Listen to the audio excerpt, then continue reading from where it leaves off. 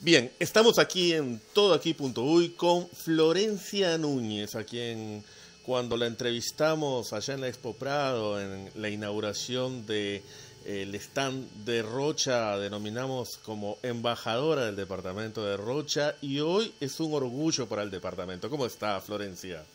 Bueno, Renzo, un gustazo este, para mí que, que qué bueno que haya llegado este momento tan lindo, que las cosas se vayan dando como se están dando, la verdad que es un buen momento no solamente para mí, sino en general este, se augura como algo algo lindo, una cosa buena, ¿viste? No recordaba en la historia de los grafitis, eh, bueno, pasó hace, hace algunos años atrás, pero, pero hace tiempo no sucedía en todo caso que una sola artista, este, nunca mujer además, este, haya acaparado tantos premios y tantos premios importantes además. Sí, es cierto que nunca había pasado. Pasa algo muy curioso con los premios, este, que es un poco reflejo de nuestra sociedad, ¿no?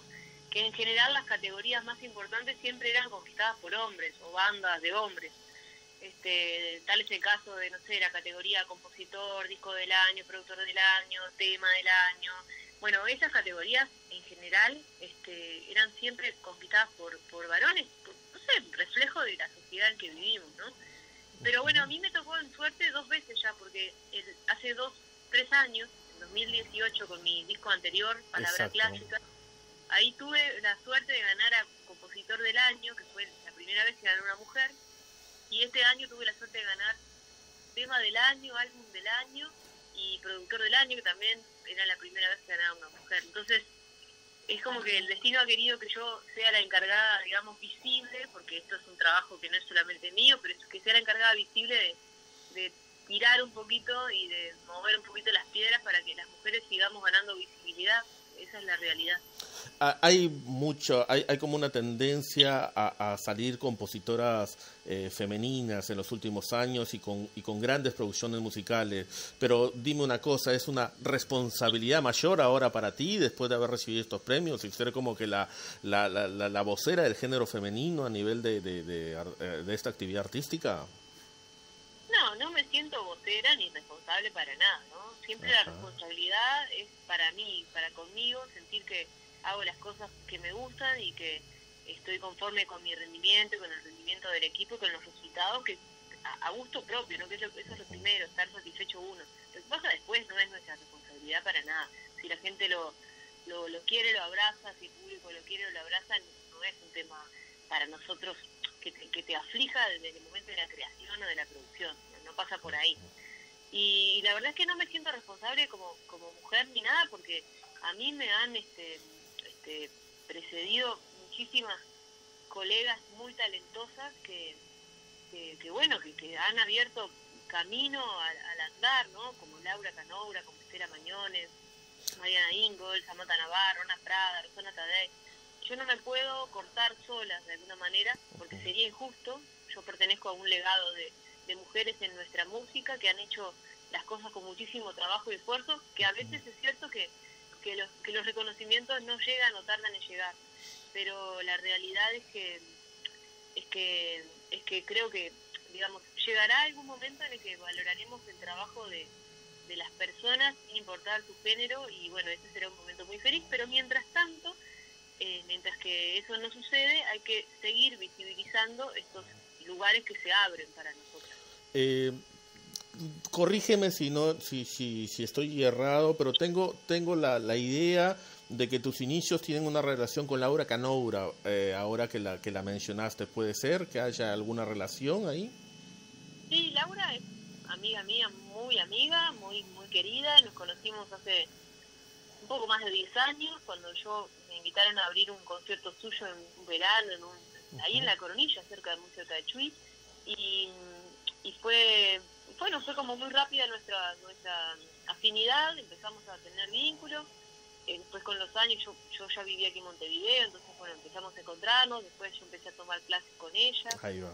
Y bueno, es mi, mi maestra también en algún sentido, pero además es como un poco gurú. Ella y Estela Mañone han sido como dos guías muy importantes para mí, dos referentes con las que además de ser referentes y admirar, he tenido el gusto de que se conviertan en amigas, eh, muy amigas, amigas tías, amigas eh, que, por supuesto son de otra generación, pero, pero nos sentimos muy cercanas y hablamos y compartimos muchísimas instancias y muchas cosas. Y te han, supongo que te han llamado para felicitarte o mandado algún mensaje por, por estos éxitos. Sí, por supuesto, sí, sí, hay que hablar, todo mi círculo de, amigas y colegas ya, ya se hizo enseguida, se hizo ir. ¿Cómo celebraste estos seis, estos seis aerosoles? Bueno, la buena noticia es que ese viernes, por iniciativa de Bizarro, que es el sello con el que editamos ese disco, y de Palacio de la Música, vamos a hacer una, una firma de discos ahí en Palacio de la Música Andes, aquí en Montevideo. Vamos a, voy a hacer un pequeño showcase, de tocar algunas canciones para que la gente se arrime a la disquería, que traiga el disco si ya lo tiene y quiere que lo firme, que lo compre ahí si quiere, bueno, si no, no importa, saquemos unas fotos. Quiero devolver un poco también del cariño que la gente le, ha dado y cómo han abrazado este trabajo, encontrándome ahora que se puede y las cosas están un poco mejor, encontrándonos cara a cara y celebrando juntos este viernes a la tarde aquí en Montevideo. Muy bien, eso es con tu público y en lo íntimo quizás celebrar ahí con Martín Gil, con el Nico Molina, que son como que, que más allá de colegas, amigos.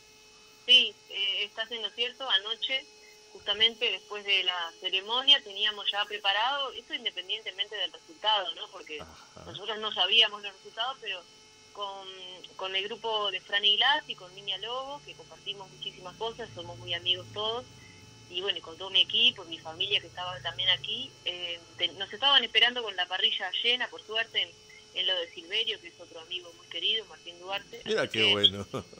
Fue una sí fue como redondito porque salimos y estaba la mesa servida así que este, nos fuimos a, estuvimos hasta las tres y pico de la mañana conversando y intercambiando cosas que, que nos fueron surgiendo. Estuvo ahí Martín Gil como decías Nicolás. Bueno bueno y, y, me dices que estuvo Gonzalo Denis no del artista sí, claro exacto. Gonzalo con todo su equipo ganador también de un graffiti. Ganó dos ganó dos dos perdón tres, sí. tres, tres, tres premios verdad muy merecido porque el disco de él increíble y ojalá que, que, nada, que pueda seguirlo tocando, lo está tocando en vivo ahora con nada. Estuvo en Rocha el, fin de semana pasado y, y bueno, y a ti se te espera también, ¿no? Bueno, ojalá que sí, estamos con la agenda abierta, siempre digo lo mismo, es un momento en el que los artistas necesitamos trabajar, volver al ruedo porque han sido años duros por todo esto de la situación sanitaria. tenemos muchas ganas y más ahora con este empujón de encontrarnos con la gente, de recorrer el interior y de, bueno, de empezar a conocernos y establecer vínculos con lugares, con festivales, con un montón de cosas que, que hasta el momento no se nos han abierto esas puertas, bueno, quizás es el momento de, de, bueno, de que nos peguen un llamado y por lo menos intercambiar. Bien, la última, porque supongo que debes estar con la agenda llena y todos los medios queriendo tener alguna palabra tuya. Eh, se viene un disco nuevo, ¿verdad? Sí, se viene un disco nuevo, se vienen varias cosas nuevas, pero no quiero adelantar mucho porque estamos en un momento muy lindo y se vienen cosas lindas para el año próximo. Vamos a dar un concierto en un lugar hermoso, entonces quiero que las cosas se, confirmen al detalle para poder largarlas. Este, así que sí, muchas cosas lindas. Cuéntame un poquito de ese disco nuevo, un poquito al menos, un adelanto chiquito. Bueno, no es ninguna novedad, pero es que vuelvo como, autora de canciones, ya que este disco fue un disco más de intérprete y bueno, me vuelvo a mis raíces de compositora y bueno, espero estar también a la altura de, mí misma, ¿no? Sentirme contenta con las canciones que, escribí, que hasta el momento lo estoy, estoy muy contenta.